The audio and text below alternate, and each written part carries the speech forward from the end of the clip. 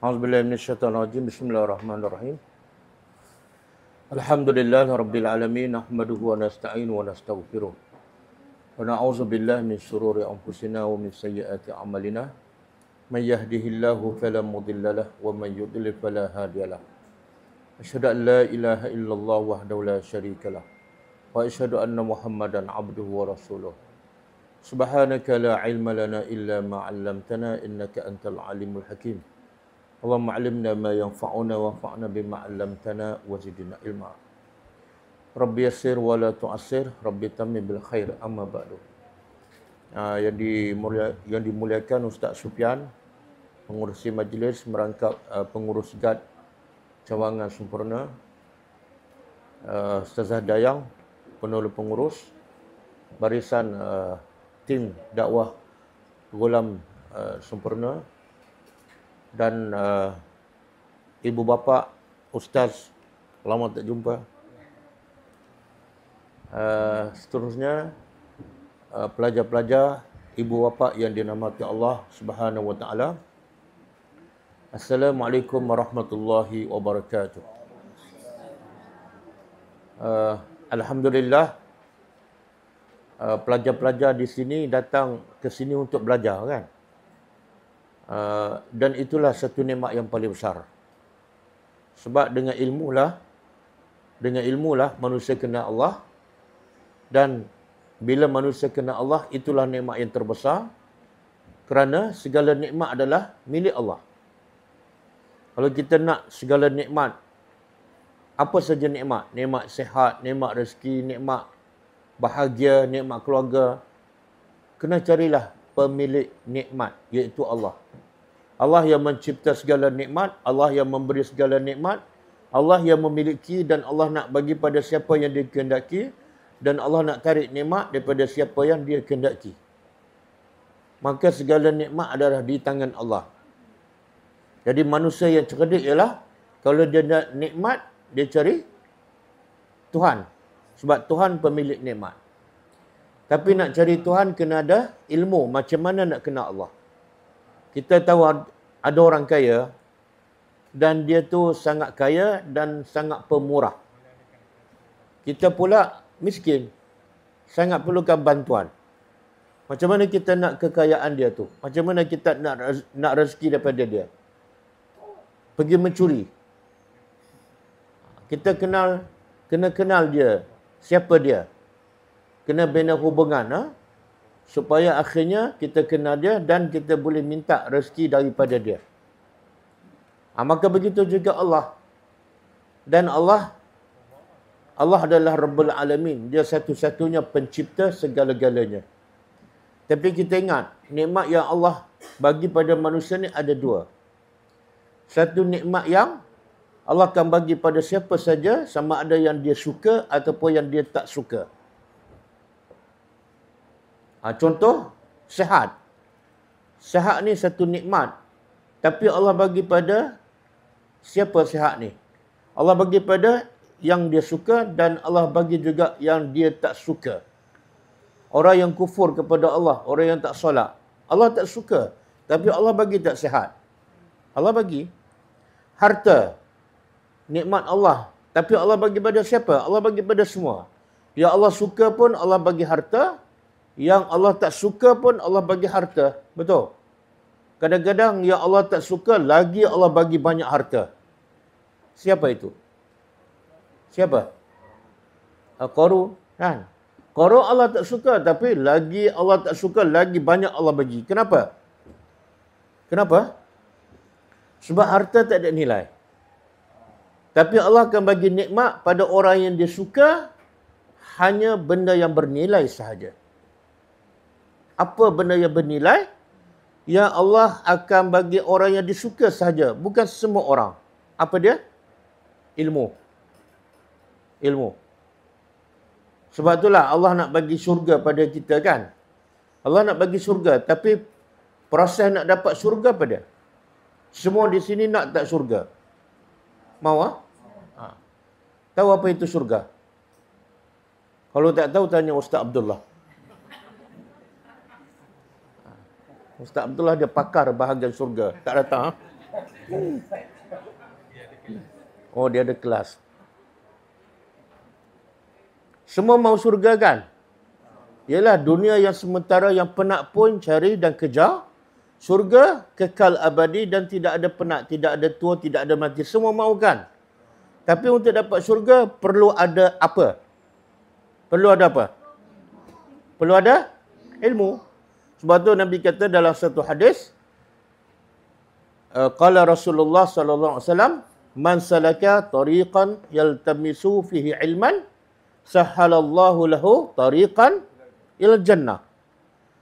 Allah kata, siapa yang menempuh jalan untuk mencari ilmu, bukan cari rezeki, bukan cari duit. Siapa menempuh jalan untuk cari ilmu, untuk kenal Allah, untuk taat pada Allah, sahhalallahu Allah permudah untuknya jalan ke syurga. Tengok. Nak ke syurga mesti ada ilmu. Ada duit banyak kadang-kadang masuk neraka. Sebab apa? Dia tak kenal Tuhan. Bila dia tak kenal Tuhan, ia lawan Tuhan. Sedangkan pemilik syurga ialah Allah. Kalau nak syurga, kena baik dengan pemilik syurga. Betul? Kena dengar cakap dia. Macam mana nak dengar cakap dia? Kena tahu apa yang dia suruh. Betul kan? Ha. Jadi, adik-adik semua di sini, ibu-ibu, bapa-bapa datang ke sini untuk dapat ilmu. Jauh tak? Rumah rumah kamu semua dengan tempat ilmu. Jauh tak? Berapa kilometer? Oh, sini saja. Oh, kami datang daripada Kuala Lumpur naik kapal terbang 3 jam. Kemudian daripada Tawau datang sini 1 jam setengah. 4 jam setengah. Kemudian daripada luar nak sampai sini paling jauh. Sebab naik jambatan. Untuk apa? Untuk bagi ilmu. Jadi kami datang jauh nak bagi ilmu. Kamu nak dapat ilmu, datang dari dekat sahaja. Betul? Jadi kalau tak datang, tak datang juga ilmu yang ada dekat dengan kita, itu apa makna? Kita tak mau surga. Kita mau dunia saja. Ha? Siapa mau dunia saja, cari duit. Siapa mau surga, cari ilmu. Dia akan dapat dunia dan surga. Sebab itulah, dalam Al-Quran, Allah suruh kita minta tambah. Allah suruh kita minta tambah satu benda je. Apa dia? Allah suruh Nabi dan Allah suruh kita semua mintalah pada Allah supaya Allah tambah. Apa yang Allah suruh kita minta tambah? Rezeki. Rezeki kah? Ah? Tak tahu?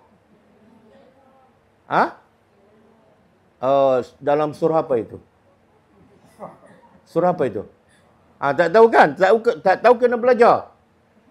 Allah bagi tahu ada satu benda kamu kena sentiasa minta tambah bukan rezeki. Tak ada ayat yang Allah suruh kita minta tambah rezeki. Tak ada. Minta tambah sehat. Tak ada. Allah tak suruh minta tambah sehat. Sebab kadang-kadang tambah sehat lagi malah belajar. Betul? Ha. Minta panjang umur. Tak ada. Dalam Quran tak ada minta panjang umur. Yang ada satu je. Allah perintah Nabi sendiri. Dan Allah perintah kita semua supaya ya Allah mintalah tambah. Tambah apa? Ilmu. Dalam surah apa itu? Surah apa? Ya? Oh, ustaz tanya, ustaz jawab.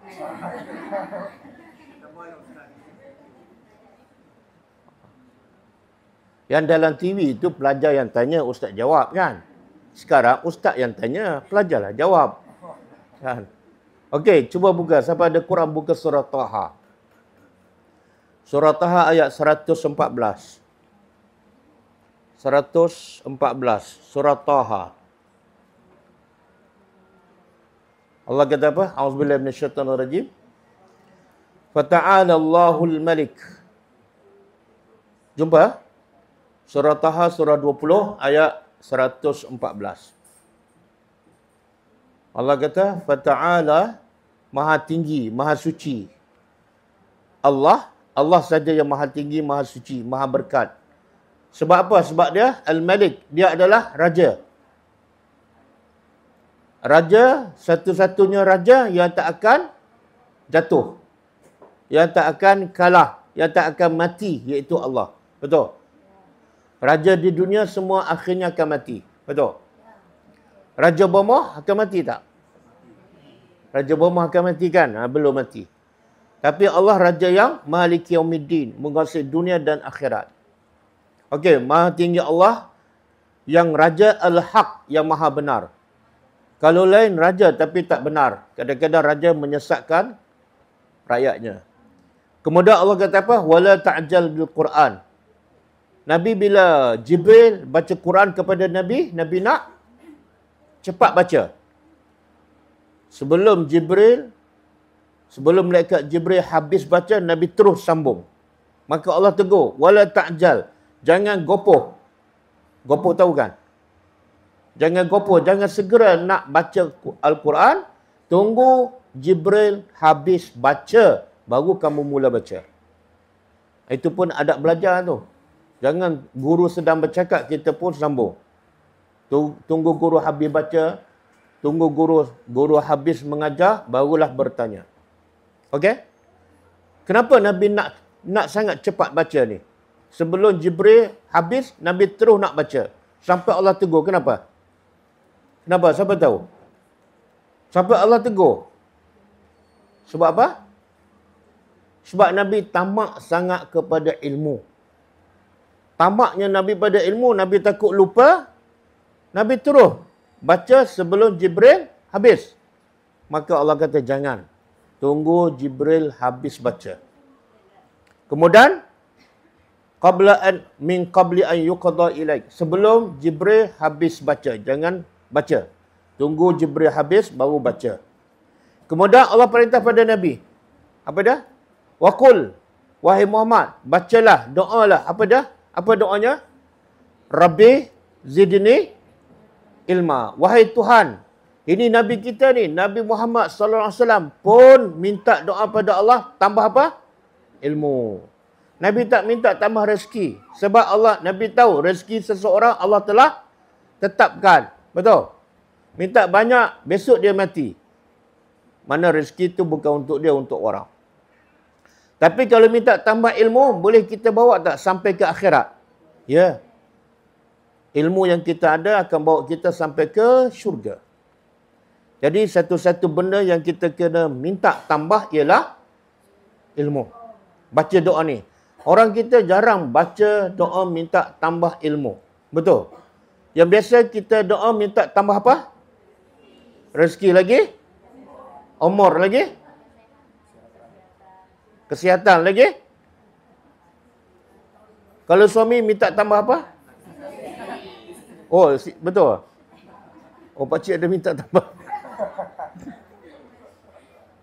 Subhanallah. Tengok. Allah sayang pada kita. Maka Allah suruh. Bukan setakat Allah suruh kita belajar. Ikra. Baca. Belajar. Bukan setakat itu. Tapi. Waku. Wakul rabbi zidni ilma. Ilmu yang kita ada ni sikit ke banyak? Banding dengan ilmu yang Nabi ada, dengan yang kita ada, mana lebih banyak? Subhanallah. Nabi dah banyak ilmu pun minta tambah lagi. Kita ilmu sikit, jarang minta tambah. Pelik tak? Pelik tak? Pelik tapi benar. Nabi rezeki sikit, tapi tak minta tambah rezeki. Kita rezeki dah banyak, minta tambah lagi. Kan? Kita dah sehat dah, itu pun tak bersyukur. Minta tambah sihat lagi. Tapi jarang kita minta tambah ilmu. Nabi minta tambah ilmu. Walaupun Nabi orang yang paling alim. Walaupun Nabi orang yang paling bertakwa. Tapi Nabi tahu. Kenapa Nabi minta tambah ilmu? Sebab dengan ilmu lah Nabi kenal Tuhan. Dengan ilmu lah Nabi jadi orang paling bertakwa.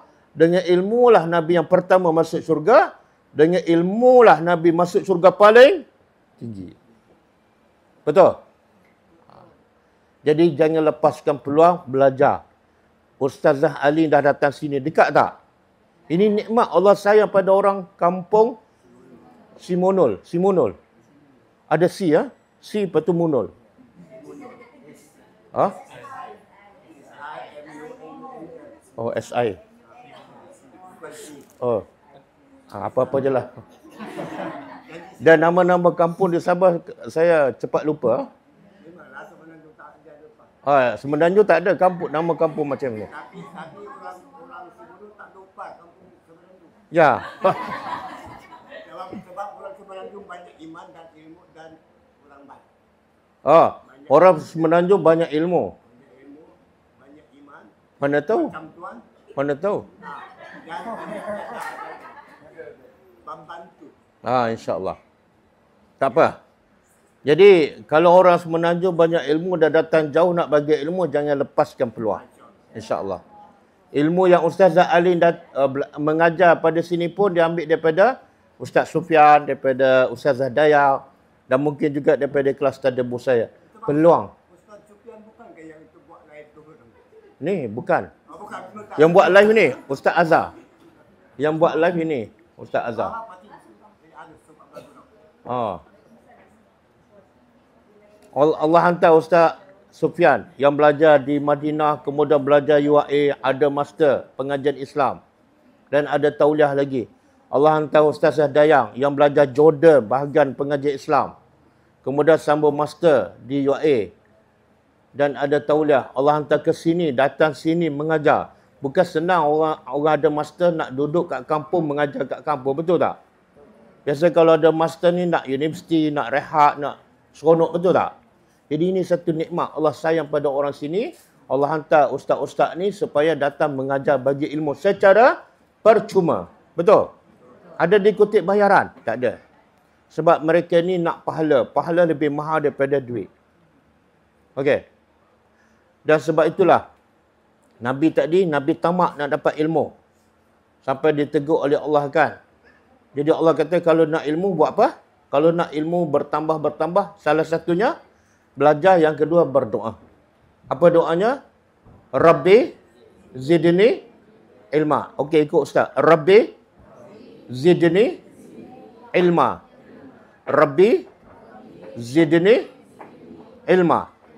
Tiga patah saja tapi doa paling mahal. Doa yang kita faham membawa kita ke surga. Dan sebab itulah Nabi kita tahu tak apa yang paling menyedihkan Nabi? Dalam hidup Nabi ada Nabi sedih. Ada Nabi duka cita. Apa yang menyebabkan Nabi sedih dan Nabi duka cita? Siapa tahu? Kita pun sedih juga kan? Tapi kadang-kadang kita sedih sebab rezeki tak banyak. Sebab sakit. Tapi Nabi tak. Rumah Nabi kecil sahaja. Kadang-kadang Nabi lapar. Kadang-kadang Nabi ikat perut dengan batu. Tapi Nabi tak sedih pasal lapar. Nabi tak sedih pasal miskin. Nabi tak sedih pasal rumah kecil. Yang Nabi sedih sebab apa? Sebab apa? Apa kata Allah dalam surah Al-Kahfi? Fala'allaka baqi'un nafsaka ala asarihim illam yu'minu bihadzal hadisi asafa. Tengok Allah tegur Nabi. Nabi benda yang paling Nabi sedih ialah bila illam yu'minu bihadzal hadis asafa. Bila umat dia tak de, bila umat dia tak faham Quran. Benda yang paling Nabi sedih bila umat dia tak faham Quran. Nabi lapar biasa. Nabi rumah kecil biasa. Bahkan ada sahabat yang lapar berhari-hari. Itu biasa. Tapi yang luar biasa yang menyedihkan Nabi bila umat dia tak faham Al-Quran. Sampai Allah kata fala'allaka bakhi'un. Moga-moga kau ni Muhammad macam macam nak bunuh diri. Sebab apa? Sebab terlalu sedih. Kenapa? Illam yu'minu bihadzal hadis. Sebab melihat umat kamu tak faham Quran. Baca tapi tak ada ilmu, betul tak? Bila kita baca saja dapat tak ilmu? Tak dapat. Jadi lepas belajar Iqra, belajar Al-Quran, baca, lepas belajar baca Al-Quran dengan betul, belajar tadabbur Al-Quran. Faham Al-Quran. Sebab dengan faham saja kita dapat ilmu, dengan ilmu saja akan pandu kita ke syurga insya-Allah. Okey. Boleh tak? Okey, itu saja. Semoga uh, semua pelajar di sini, ibu bapa, adik-adik uh, diberi istiqamah oleh Allah untuk terus belajar dan terus ditambahkan ilmu. Sekian wassalamualaikum warahmatullahi wabarakatuh. Thank you.